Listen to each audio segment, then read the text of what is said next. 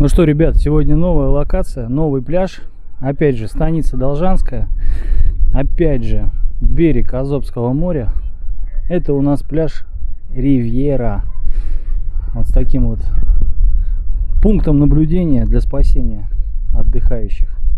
Замечательная сегодня погодка. Есть минус в этом пляже, очень мелкий, очень мелкий. Нужно идти достаточно далеко, чтобы дойти до глубины. Вот э, за буйками там еще ребята по пояс. Это вот как раз таки те места, где очень мелко и с детьми здесь отдыхать будет комфортно, очень комфортно. Потому что глубины здесь как таковой нет. Вот такие навесы. Навес также все 300 рублей. Э, беседочка 500 рублей сутки.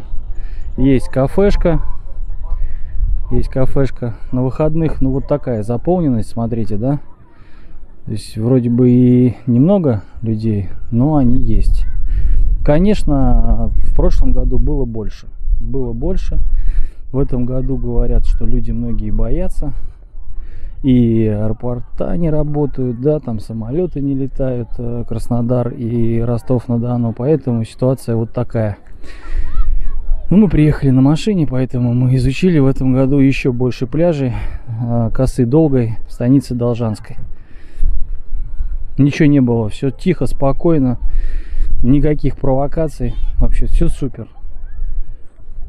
А вот так люди на выходных отдыхают с разных регионов. Обратите внимание на госномера и 161, и 123, вот даже Hyundai стоит а, с 29 с Архангельской области приехал. Разные, разные абсолютно.